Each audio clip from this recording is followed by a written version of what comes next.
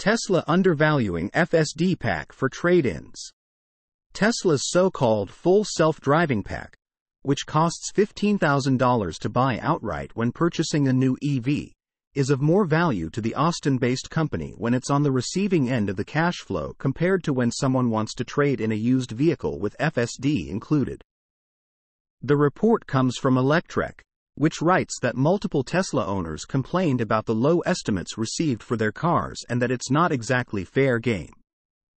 From the emails received by Electrek, it looks like the maker of the Model 3 and Model Y values FSD at less than $10,000 when offering buyback estimates to clients, which is 33% lower than the cost of buying the service from new Tesla.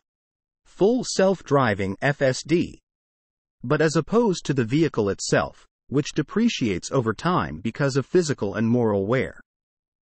FSD has been touted by Elon Musk as an appreciating asset. With the outspoken CEO suggesting that the value of the feature could end up closer to $200,000 once fully autonomous. The problem is, that still hasn't happened yet, and by the looks of it, it still won't happen for some time. Additionally, because it's essentially a software service, it should maintain its price irrespective of it being activated on a new or used car.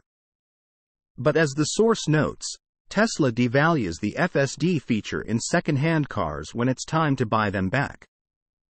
Despite the fact that the company has failed to deliver on its promise of full autonomy and in the context of Musk repeatedly arguing that most people don't understand its value. This could be easily solved if the Austin based automaker would allow customers who bought the feature to transfer ownership rights to a new vehicle. This way, Everybody would be happy and the resale value of used Teslas would be truer to reality. It's worth noting that the EV brand also offers a subscription for FSD, which costs between $99 and $199 per month. Depending on whether the vehicle has basic autopilot or enhanced autopilot.